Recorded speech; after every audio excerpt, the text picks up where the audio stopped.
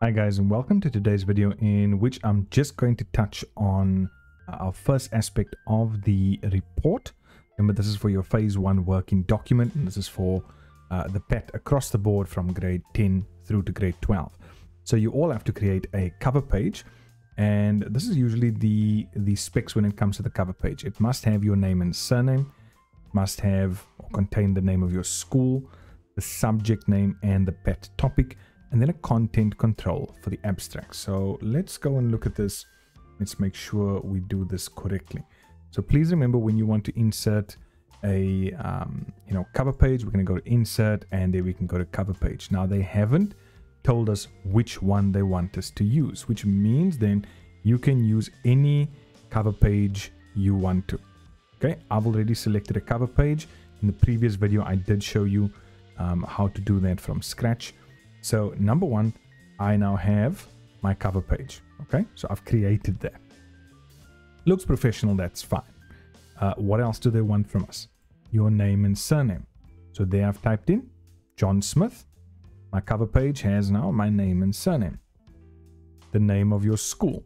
Here you can see I entered just high school, but you'll obviously enter uh, the name of your school then the subject name and PAT topic. So there the subject is cat um, and then whatever the PAT topic is going to be you'll type it in over there. Okay guys obviously the placement of these things is going to differ from cover page to cover page.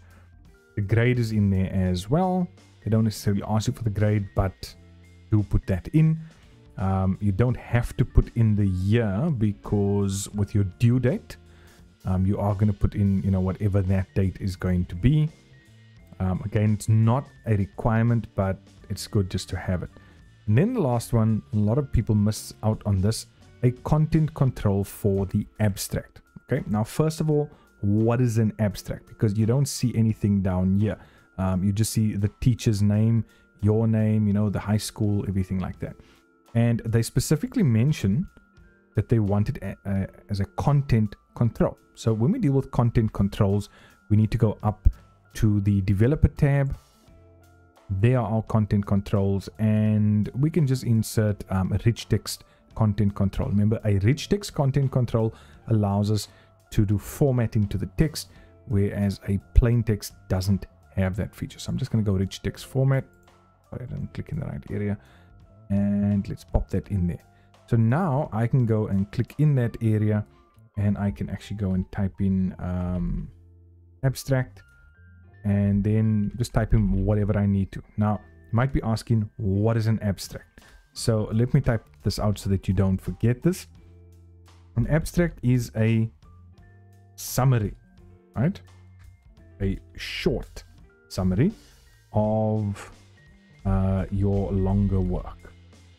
So in other words, you're going to type in two or three lines uh, that's basically going to summarize what I'm going to find in the rest of this document. Okay. Um, what you've been asked to research. So like I said, maybe two, three lines.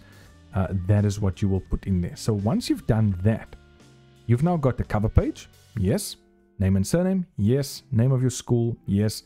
Subject name and PAT topic and a content control for the abstract. So now you know that is done.